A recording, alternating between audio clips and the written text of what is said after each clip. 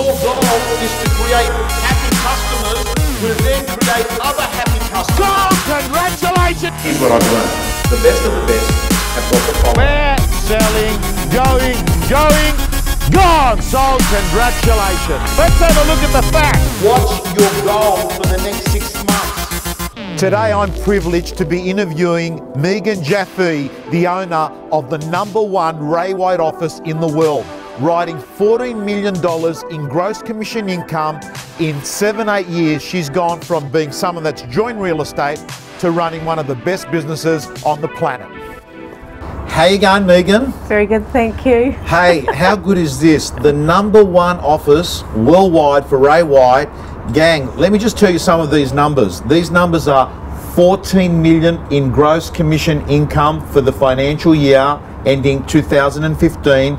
We're talking about from January to August in 2015 calendar year, they have done 11 million in gross fees. We are talking about a rock star business. Okay, I want to ask you this question. What happens when you've got salespeople that have got the gift of the gab, they can speak, but they're highly disorganized? Um, do you see that happening? Every day. So- Every day, that's my life. That's your life. So, so how do you work with those people? What do you do? Well, it's one day at a time. And I believe in small incremental improvements every day to achieve excellence. So, what we do is we put the platform and the foundation in place in their business, and we absolutely keep coming back to the daily disciplines of what we've discussed, which relates to how we lead generate, how we pipeline, how we list, how we sell. So, that that's the critical one of the critical parts of our day of, of our um, of our business. It's how we structure that into our real estate week our ideal real estate week. And so it's structuring that into the week and I hold them to task.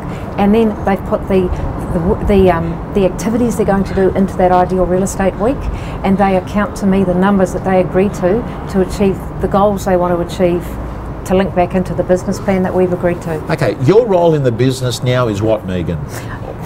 It's a it's, it's a performance coach Okay, so you you you you coach people. Yep. Can I ask you, how do you get someone from five hundred thousand to a million in fees? Well, first, well, I have not met a person that couldn't be better than they are today. I haven't met a single salesperson who hasn't wanted to do better, Right. and, and, and, and that isn't capable of doing better.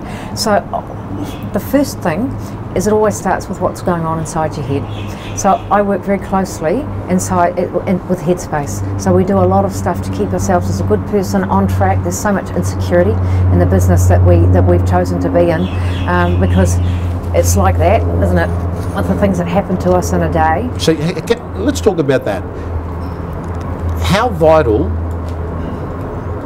is the headspace? Like, do you say that it's more important than skills? Do you think skills are more important? What, what's, what's your feeling? Well, it's an integrated approach, but I think Headspace self, what you do on yourself and how you are as a person and how you've got yourself together, that is the, that is the fundamental. It's a fundamental in real estate, but it's a fundamental in life. So, you know, if, if you're if you're if you're not on track, I know, and if I'm not on track, you know. You can tell. Okay, my final question, Megan, is this. If you were starting, if there's a young person out there right now watching this video, if you were starting in real estate again, day one, what are three non negotiables you'd hold yourself accountable to?